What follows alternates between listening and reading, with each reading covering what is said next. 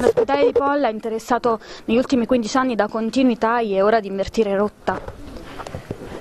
L'ospedale di, di, Polla eh, sicuramente, senza stare nel dettaglio, rientra nelle difficoltà, è rientrato nelle difficoltà che ci sono state nel sistema sanitario campano, blocco del turnover per una fase, riduzione degli investimenti.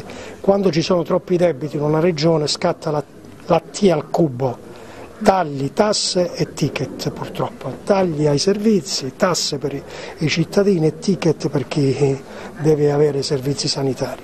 Se il percorso che la Regione ha intrapreso continuerà ad essere confermato in termini finanziari, noi ci rendiamo conto che questo sblocco sarà ancora più consistente e darà ulteriori possibilità a chi opera in queste strutture. Una domanda veloce, mi scusi, al nuovo plesso ospedaliero di Lago Negro che eh, potrebbe abbiamo, entrare in conflitto con quello pollese. Abbiamo, Almeno è nel timore del Abbiamo troppi del problemi sulla sanità, mi sto occupando di quelli. Quindi...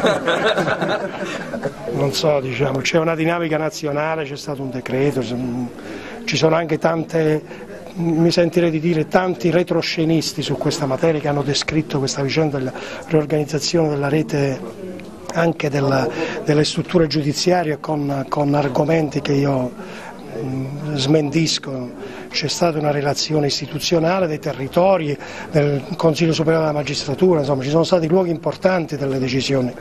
Poter pensare che qualche piccolo grande politico abbia compilato questa mappa mi pare del tutto improprio. Eh.